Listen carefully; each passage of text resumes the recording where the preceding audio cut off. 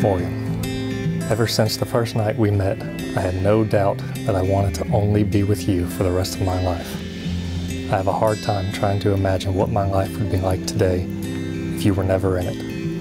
You have made me a better man, and I know that you will continue to make me a better man as we grow through the years together. Your love, faith, passion, sense of humor, and creativity are only a few reasons why I think you are amazing. But the thing that amazes me the most is that you decided to say yes and stand by me forever. I never thought I could be so lucky. I love you, Drew.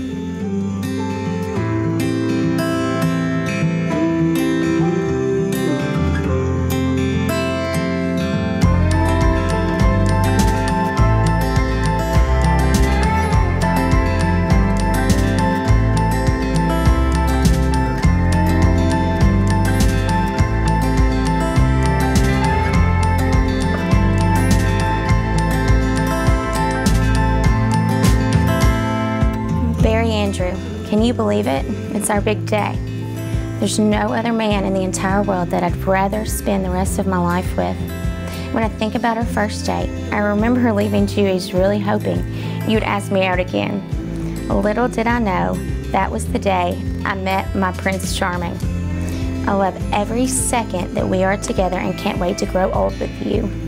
As we start this new chapter, it makes me smile knowing that you'll always be by my side, even in the midst of my madness. You are my balance. This is us. Rain or shine, today I get to marry my best friend. I love you, Morgan.